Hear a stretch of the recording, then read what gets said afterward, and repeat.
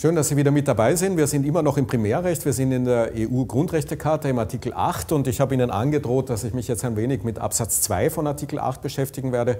Deswegen, weil da drinnen ganz viel von den fundamentalen Prinzipien schon enthalten ist und deswegen, weil dieser Artikel 8 Absatz 2 vielleicht ein Grund dafür ist, alle Vorurteile, die Sie wenn Sie nicht Jurist oder nicht Juristin sind, gegenüber Juristen und Juristinnen haben, zu bestätigen, weil dieser ähm, Absatz 2 so schön abstrakt ist. Er sagt nämlich gleich im ersten Satz, dass diese Daten nur nach Treu und Glauben verarbeitet werden dürfen. Und dieses Wort nach Treu und Glauben ist eine wunderschöne zweieinhalbtausend Jahre alte Rechtsfigur. Äh, bei den Römern hieß das Bona fides und man kann dahinter natürlich ganz viel vermuten und man vermutet dahinter mit Recht ganz viel, weil hinter diesem recht abstrakt klingenden Treu und Glauben einige fundamentale Prinzipien des Datenschutzrechts bereits verborgen sind. Zum Beispiel der Grundsatz, dass die Daten, die über jemanden verarbeitet werden, richtig sein müssen oder aber auch den Grundsatz, dass diese Daten nur sparsam verarbeitet werden müssen. Also der Grundsatz der Datenrichtigkeit oder der Grundsatz der Datenvermeidung und der Datensparsamkeit liegt in diesem Artikel 8 Absatz, 1, Absatz 2 Satz 1 schon angelegt. Genauso wie hier auch schon angelegt wird, dass die Daten nicht nur nach Treu und Glauben verarbeitet werden dürfen, sondern für einen festgelegten Zweck. Das ist auch ganz wichtig, diesen Grundsatz mal verstanden zu haben. Das ist der sogenannte Zweckbindungsgrundsatz. Das bedeutet, dass Daten, die für den Zweck A erhoben werden, bitte nicht für den Zweck B, der mit dem Zweck A nicht vereinbar ist, verwendet werden soll. Es darf also keine Datenspeicherung auf Vorrat geben. Es braucht einen Zweck und dieser Zweck muss im Vorfeld bereits bekannt sein, wenn Daten erhoben werden. So, Drittens, ganz wichtig, man kann über Datenschutzrecht 30 Jahre arbeiten oder man kann über Datenschutzrecht 20 Sekunden arbeiten.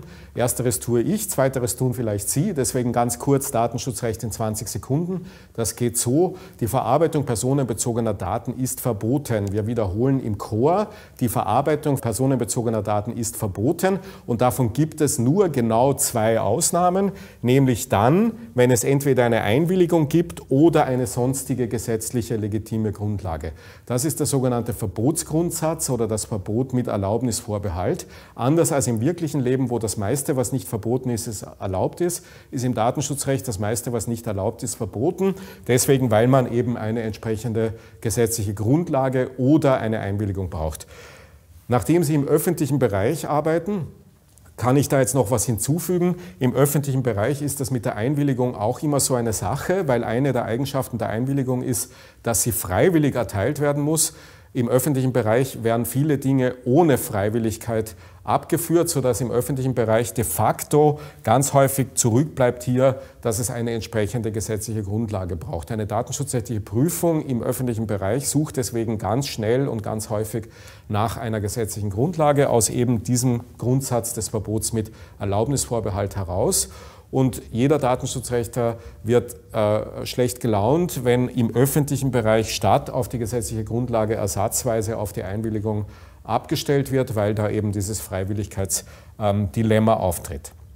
So, und dann geht es weiter mit, dass ähm, auch schon grundrechtlich garantiert jede Person bestimmte Betroffenenrechte hat. Auch die stehen hier schon drin. Der einzelne Betroffene, die einzelne Betroffene hat ein Auskunftsrecht, er hat ein Berichtigungsrecht und muss dieses auch durchsetzen können. All das, nochmal gesagt, steht schon in der Verfassung.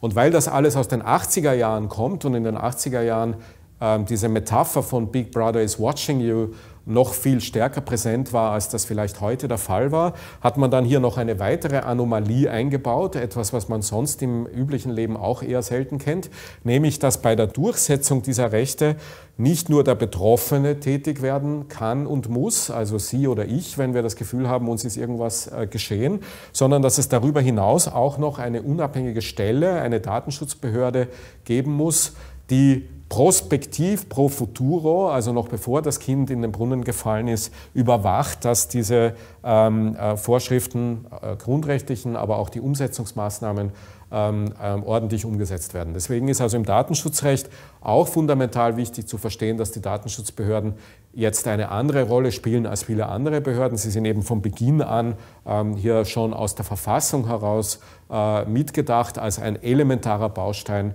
im Schutz des Betroffenen.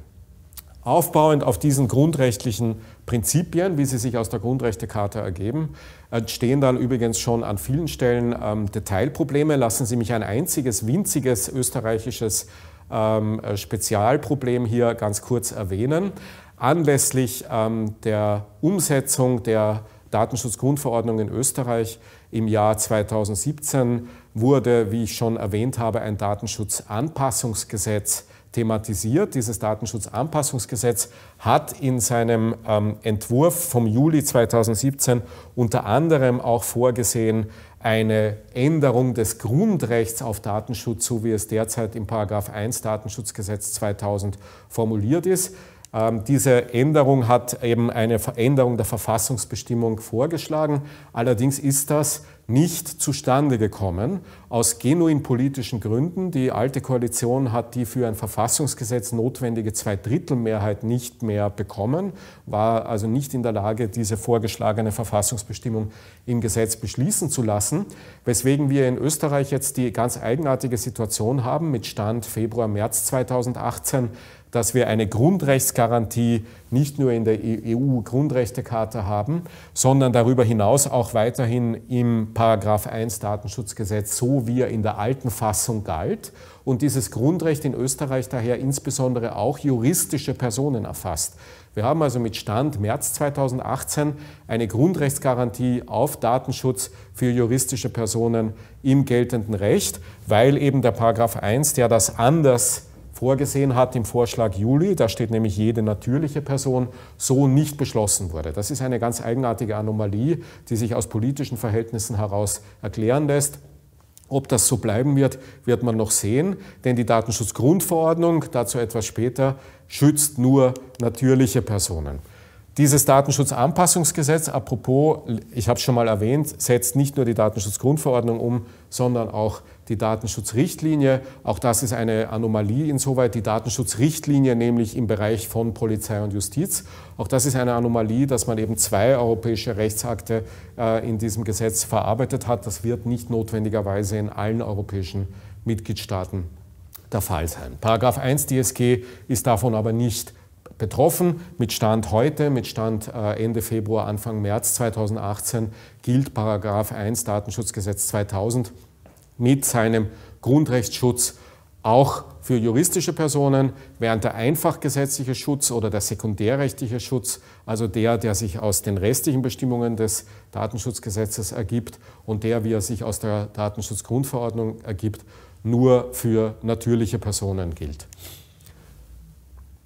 Die ähm, Datenschutzgrundverordnung selbst vor dem Hintergrund dieser verfassungsrechtlichen Grundsätze verändert dann an diesen natürlich nicht so wahnsinnig viel. Deswegen, ich habe schon im allerersten Video erzählt, ändert sich durch die Datenschutz ähm, Grundverordnung ganz wenig an den Fundamenten, die eben primär durch das ähm, europäische Primärrecht und durch die lange Tradition bereits geprägt sind. Es gibt an einigen Stellen ein bisschen PR-Theater. Vielleicht haben Sie schon mal was vom Recht auf Datenportabilität oder vom Recht auf Vergessen gehört, das jetzt durch diese Datenschutzgrundverordnung eingeführt worden sein soll. Das stimmt auch im Detail übrigens nicht. Ähm, vielleicht haben Sie was von den Strafen gehört, aber ich würde das wirklich unter der, sozusagen unter dem, der Überschrift PR ähm, in weiten Bereichen abhalten äh, und ablegen. Es ist nicht so wahnsinnig viel Neues. Im nächsten Kapitel geht es dann um die Ziele und es geht um die primären ähm, Umsetzungsmaßnahmen zur Erreichung dieser Ziele.